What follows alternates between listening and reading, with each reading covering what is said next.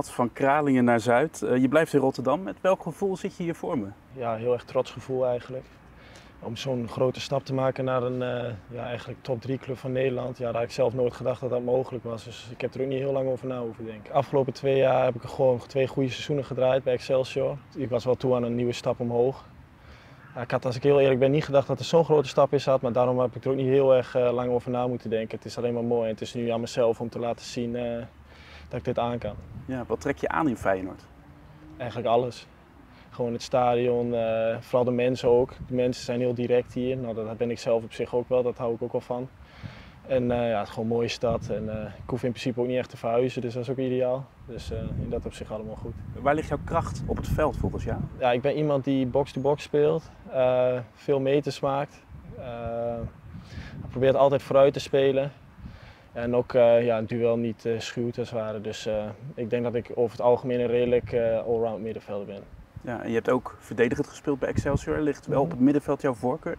Ja, ik speel het liefst op het middenveld. Ik heb uh, bij Twente, toen ik nog bij Twente speelde, ook wel eens centraal gespeeld. Maar liefst sta ik wel gewoon uh, op het middenveld. Ja.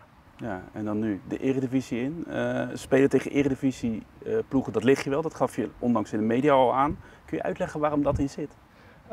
Ik denk dat dat komt omdat uh, keukenkampioen divisie is toch wat fysieker. Daar zitten ze allemaal super kort op je, op, ja, op je hielen en op je, uh, ja, eigenlijk op je kont als ware. Maar je hebt dan bij uh, eredivisie ploegen is het toch vaak, ja, dan heb je, is wat tactischer en dan zitten ze niet, dat is, ja, dan heb je vaak ietsjes meer ruimte. Dat gevoel heb ik altijd als ik er tegen gespeeld heb. Ja, en dat ligt mij over het algemeen wat meer, waardoor je meer het voetballende, daar moet ik het ook meer van hebben. Dus dat, dat ligt mij gewoon beter.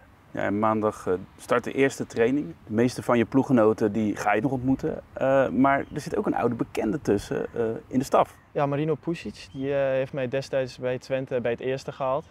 En heb ik ook mijn debuut mogen maken. Dus ja, die ben ik wel zeer dankbaar daarvoor. Ja. Dus ik ben benieuwd of hij mij nog herkent. Ja, ik denk het wel. Ik ben wel heel erg veranderd. Maar dus, ja, we gaan het maandag zien. Je hebt je de afgelopen jaren sterk ontwikkeld. op welk gebied zou je bij Feyenoord hier de komende tijd willen ontwikkelen? Gewoon voetballend. Eigenlijk alles is denk ik twee, misschien wel twee stappen hoger dan dat ik, of drie stappen hoger wat ik gewend ben.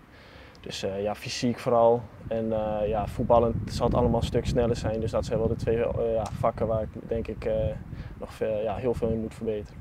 Ja, je zei het net al, je kan hier blijven wonen. Hoe bevalt de stad je?